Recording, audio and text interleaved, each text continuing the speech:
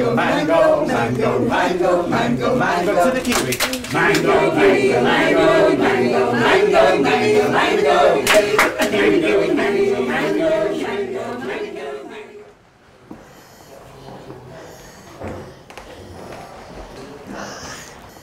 The British Lung Foundation tell us that one in five people are diagnosed with a chronic lung condition. That equates to about 12.5 million people across the entire United Kingdom. How's your breathing feel? But I'm a bit breathless today, but apart from that, yes, everything's all right. Okay, good. My condition is COPD. It's where the lungs uh, don't uh, get rid of the uh, bad air and it just won't let you breathe then. It stops the good air getting in there. The problems that people have are, are breathlessness, cough, uh, coughing up sputum, um, and a, a, a sort of they find it difficult to get on with day-to-day activities because they get out of breath, so they can't walk as far. People become socially isolated. Um, they because they're not moving around so much, they get uh, muscle weakness and are sort of deconditioned. I do go out walking around the park or somewhere like that, which of course is, was my main hobby before this happened. My other love was gardening, which unfortunately I can't do any longer. But I can still do something, I do what I can. I'm here to write a piece of music with you all, and we're going to have a conversation that I'll record as the first bit of that process, and then I'll go away and come up with some musical ideas and come back and share them with you in February. Um, and I might end up using some clips from that conversation in the final piece, but we'll see how it goes. We started Singing for Breathing in 2007, um, and it wasn't actually my idea, it was uh, the idea of a colleague at the time, Lucy Underhill, who both of us are singer-songwriters. Um, and she, I think, saw a pulmonary rehab class happening and realised that there was an obvious connection between the exercises people were being given for pulmonary rehab and the kinds of exercises we'd be given as singers.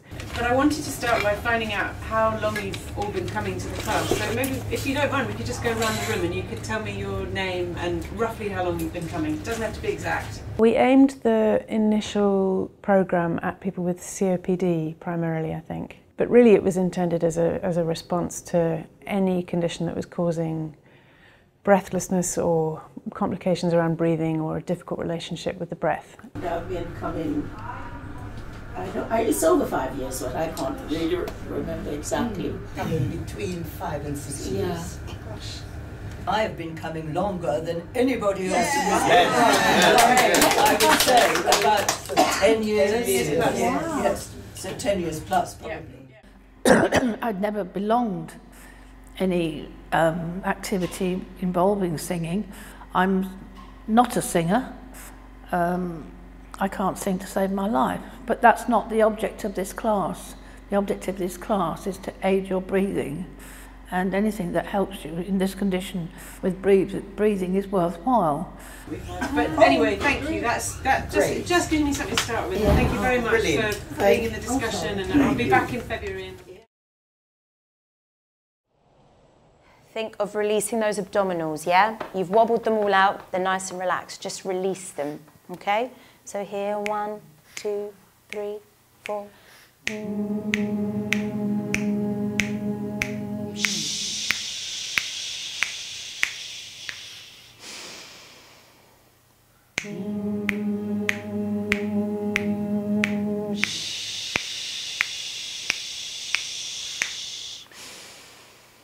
So one of the key things that's happened over the last 10 years since we've set up Singing for Breathing is that the British Lung Foundation has really embraced the idea and the value of singing for supporting people with lung diseases.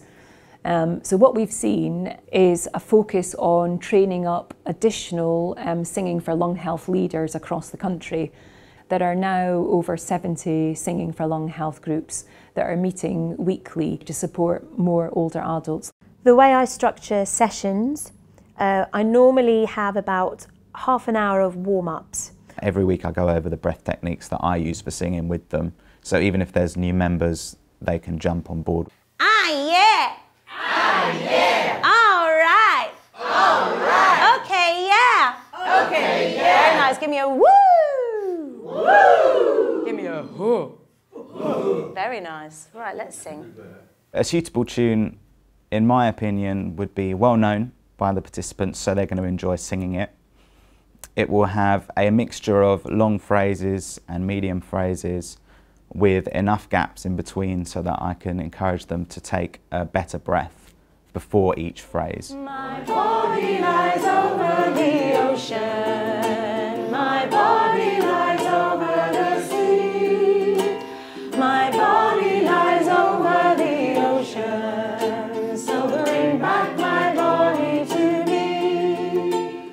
For breathing, it's all about the out breath. That's why singing is amazing. People with lung disease often uh, sort of catastrophize about breathlessness. They, they get out of breath and it's very frightening and they think something terrible is going to happen. Um, and that makes them, if you like, phobic about breathlessness. Um, so one of the things that, that, that happens by you know, gaining a sort of control over breathing is, is, is learning sort of skills to bring your breathing under control. If you, if you have emphysema and you start breathing, get, get anxious and you breathe very rapidly, what, what happens is you kind of, you end up stacking up breaths and become very, very breathless and getting your breathing back down again involves slowing your breathing down and controlling it. And some people kind of use skills that they've learned in, in singing to kind of sustain a slower breath out to help them to empty their lungs down to a sort of more comfortable level to be breathing at.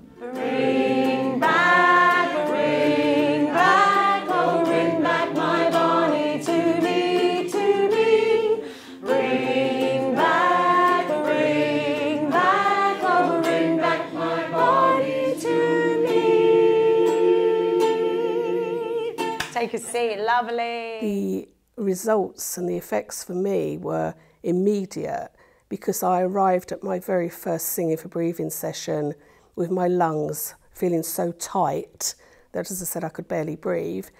And I walked out of the very first session with my lungs feeling nice and relaxed and open. And from that day to this, from that very first moment, I have never used my blue inhaler since that up to that point I was using 15 to 20 times a day. I've never felt the need to use it since that very first session. So after we met, I then went and met the people at the Brompton and the people in Uxbridge and spoke to some of the singing teachers who used to work doing this work before Elisa and Ed. Um, and I've, so I've listened to all of those conversations again and I've tried to think about uh, making a piece of music that's going to cover lots of different themes. So today I met the choirs again for the second time and we went through some tunes that I've been drafting. So we tried a couple of rounds, so they've been written so they're quite simple to sing but that the harmonies come out of the round rather than having to learn lots of multi-part harmony. I thought I couldn't, I thought I couldn't,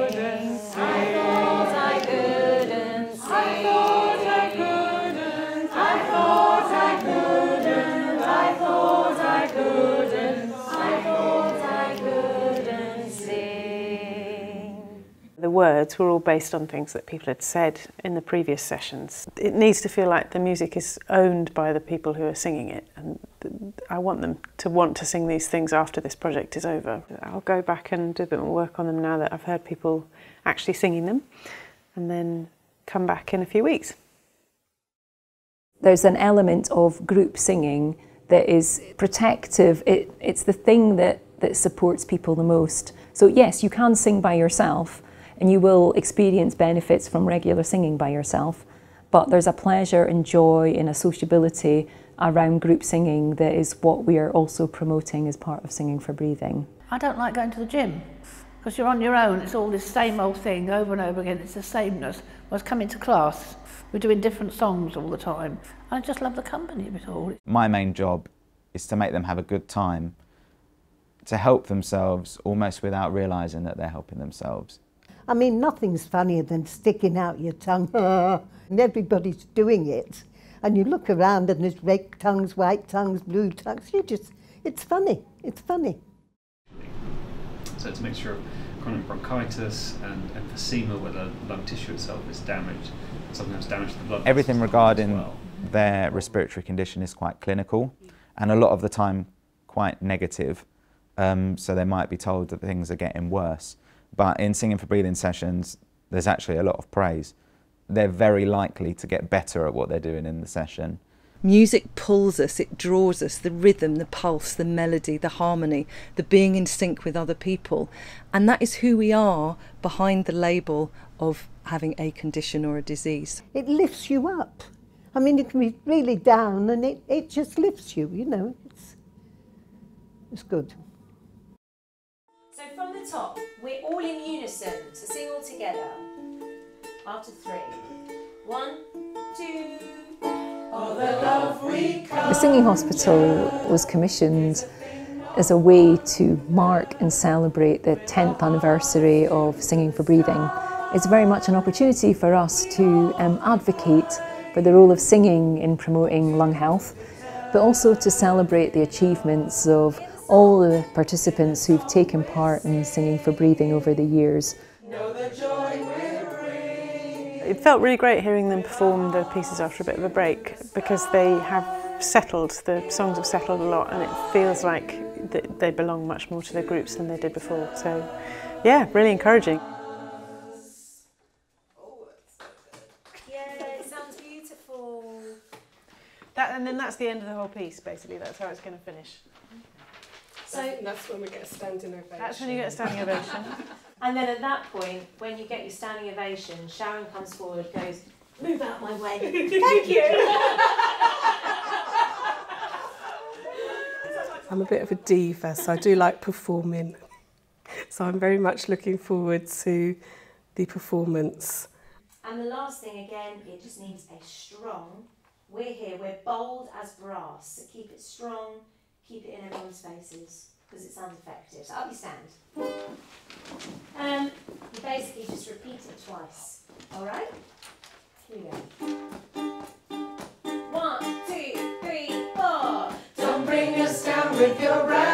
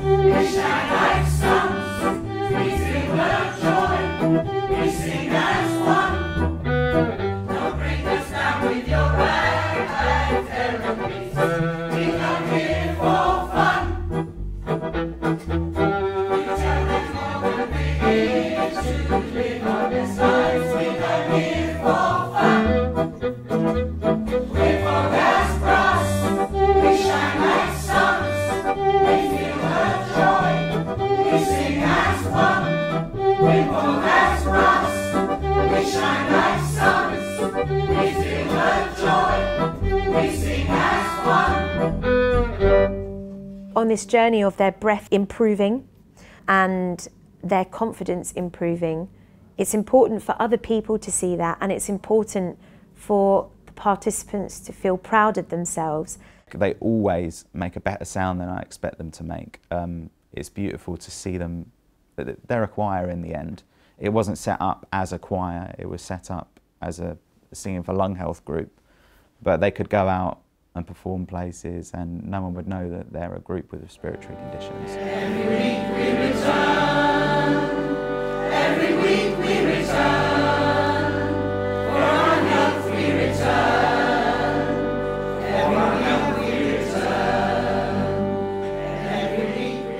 Amazing to see the work performed for an audience. It is, uh, the, but what's really amazing actually is having the three choirs come together, and that was what gave it real energy. I think all this work that we'd made together coming alive with that really big group.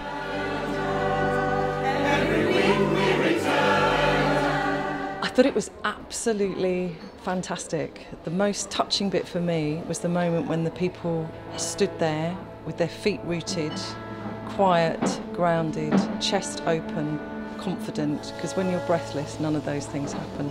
And it was those quiet moments with the breath, the low breath. I just had tears coming down my face.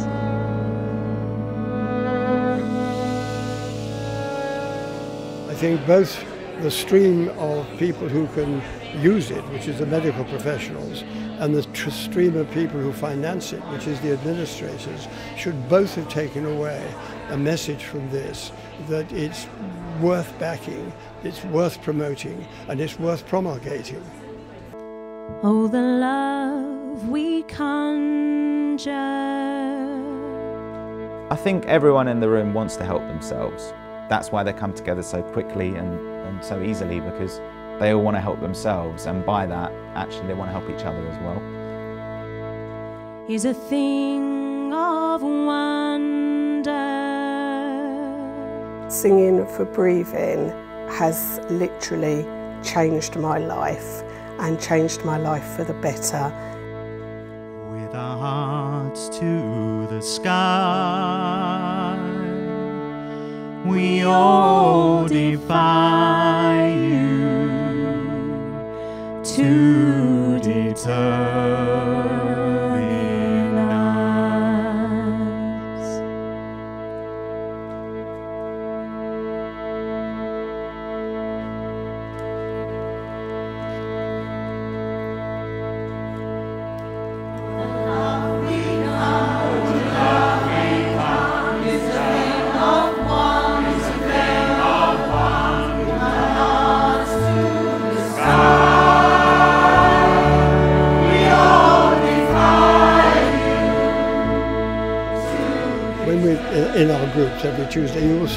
somebody come in and she's or he is wheeling, wheeling, oxygen, and he's clearly miserable, and they're all uncomfortable, and they're accompanied by a nurse, and they're not quite sure they're going to enjoy this. And they sit over there in their corner, and they gradually edge forward, and they begin to stand up, and they begin to sing, and by the end they're singing, singing like nightingales. So you see it doing good to other people, as well as feel this is doing good to yourself.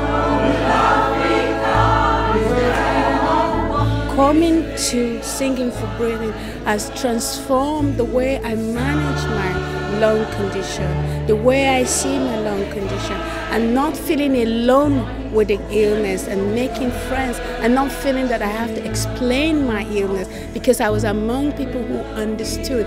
I'm also even learning my exercises and my singing and empowering me to manage my breathing. It has changed totally the way that I live with my lung condition.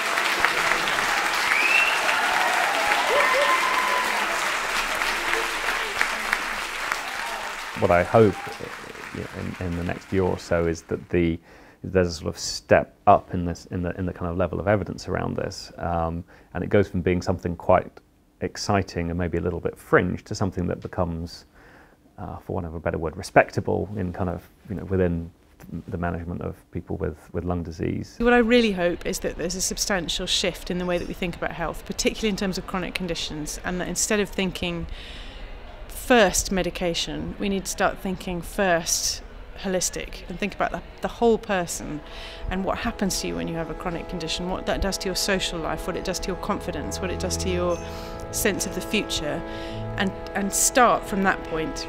If social prescribing comes in and that, and, that, and that shift starts to happen, it could make a really substantial difference to people's lives, I think. I mean, I, I think convincing some people about singing will always be a challenge and will always be difficult. But there has been a growing sort of research and body and evidence that demonstrates the efficacy and the importance of singing for lung health. There's a great opportunity for singing for breathing to be adopted as a model and people could easily be referred via a doctor's practice to workshops. There's a huge number of people who could be supported if there was the capacity. As long as it keeps going, I'll still be here. Well, as long as I can anyway. We're working on it. Thank you. Thank you very much.